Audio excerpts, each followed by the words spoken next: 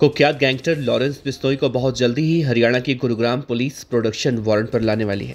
इसके लिए crime branch ने तैयारी तेज कर दी है। गुरुग्राम पुलिस ने कोर्ट में 13 अक्टूबर को प्रोडक्शन वारंट के लिए एक याचिका दाखिल की है। सूत्रों के मुताबिक लॉरेंस बिस्तोई इस वक्त गुजरात के अहमदाबाद के साबरमती जेल में बंद है। प्रोडक्शन वारंट के दौरान लॉरेंस से खोड़ में दोहरे हत्याकांड के मामले में पूछताछ की जाएगी। एसटीएफ भी उससे पूछताछ कर सकती है।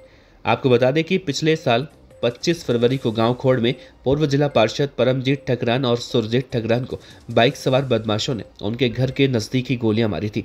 दोनों की उस वक्त मौके पर मौत हो गई थी। इस हत्याकांड को अंजाम देने का आरोप कुख्यात गैंगस्टर लॉरेंस बिस्नोई के गैंग के ऊपर है।